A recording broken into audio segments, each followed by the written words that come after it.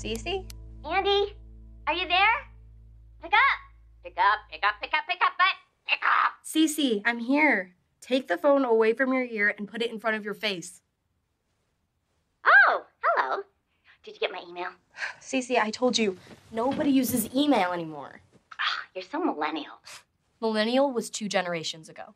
Well, just look at your email. I sent you a video from a wedding where everybody dances down the aisle. I've seen it. We should do that. Don't you think Bex and Bowie would love that? Maybe. Oh, could you suggest it to them? I like it, but they might actually do it if it comes from you. I will do my best.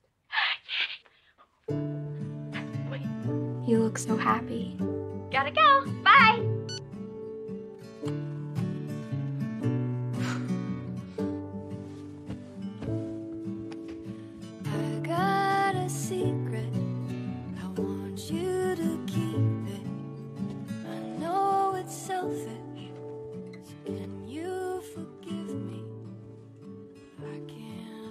You hungry?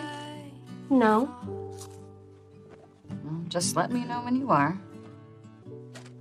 Cece called. Oh, yeah? Clearly, you haven't told her that the wedding is off. Not yet, no. When are you going to do that? Soon.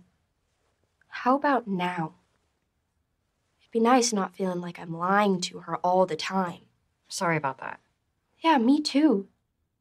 It's pretty horrible. Call her. Please, she's home now. I can't, not today. Why not?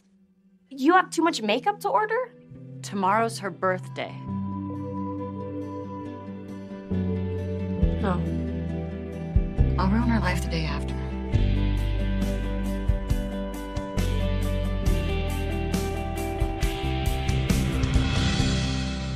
Hey, Hey, you ready? What are you wearing? You don't like my shoes? You called those shoes? It looks like your feet